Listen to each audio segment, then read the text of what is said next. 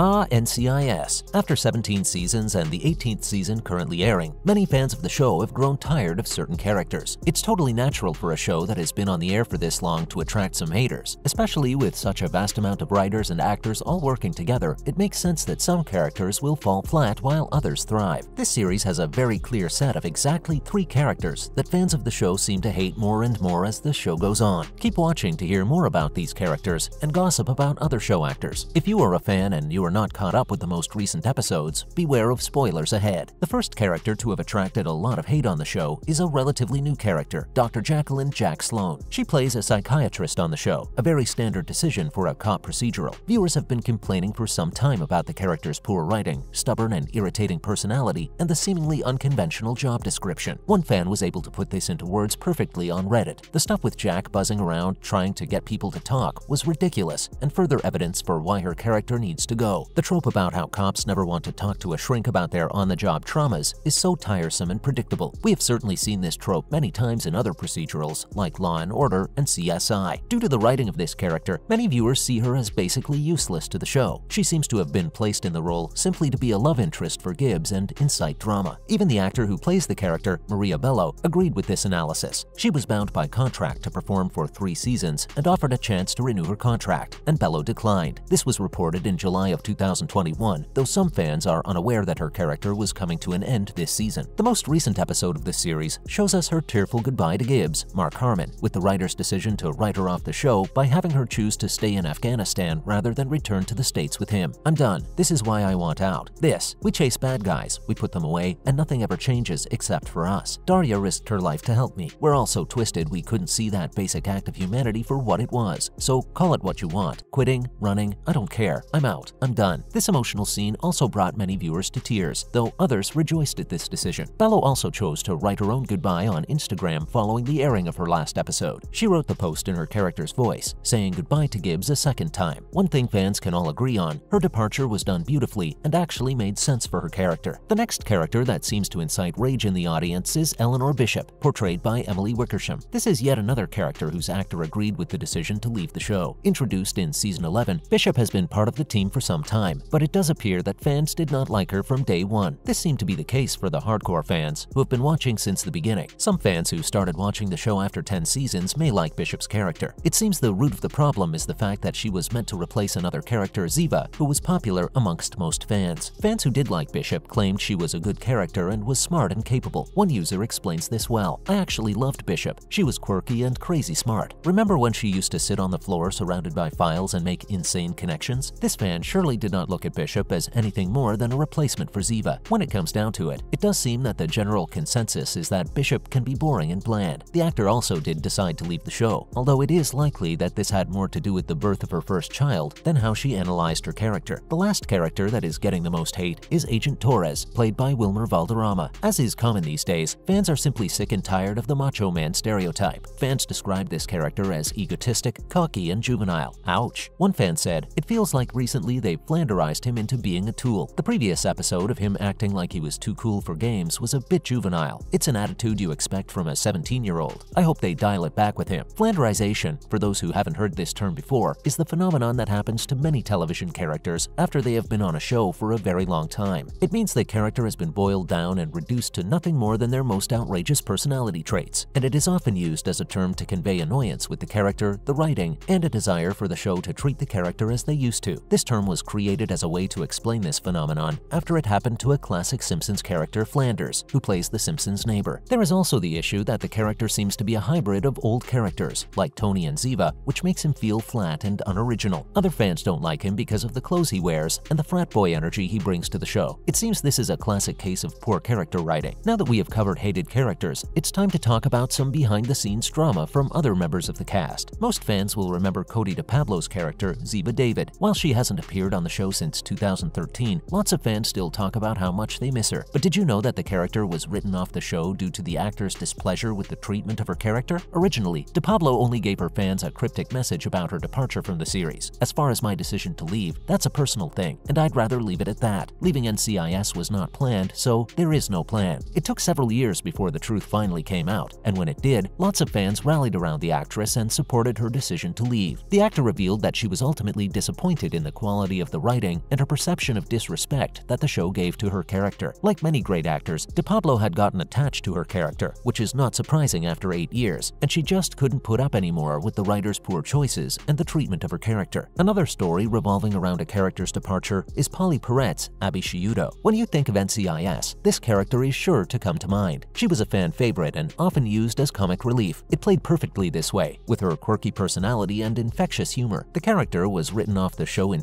2018 after the actor had been in more than 350 episodes. The storyline in the show is that Abby is traumatized by an event in London that nearly costs her her life, and she decides to leave her job and remain in London. However, the actor was leaving in real life because her physical safety was in question. This scary situation began when Mark Harmon, fellow star on the show, brought his dog to work. The dog, Dave, reportedly bit a crew member so severely that the person needed stitches. Harmon was apparently mortified by this and agreed not to bring Dave back to work with him. He soon went back on this promise and brought Dave in another day, citing his lack of a dog sitter. Pauley Perrette was afraid of the dog and responded with fury and coldness toward the other actor. Following this incident, Perrette refused to film scenes with or even speak to Mark Harmon. The stress brought on by this was so severe that Perrette made the decision to leave. She also cited having been a victim of multiple physical assaults while on set. She reports that she still has nightmares of Mark Harmon and Dave to this day. Actor of similar series, Rizzoli and Isles, and Shameless, Sasha Alexander started out in television on NCIS as Special Agent Caitlin Todd. She liked acting, and we now know she would go on to play lots of other roles. She was constantly stressed and exhausted on the set. She reportedly went to the creator of the show and asked for her character to be written off. He describes the meeting to the Chicago Tribune. I had already started writing the last episode of the season and was getting ready to go to Australia to take a little break. Sasha came in two days before I was to leave, and with tears in her eyes, she said, I just can't work this hard. Creator Donald Bellisario agreed to write her off of the show immediately, which came as an enormous relief for Sasha.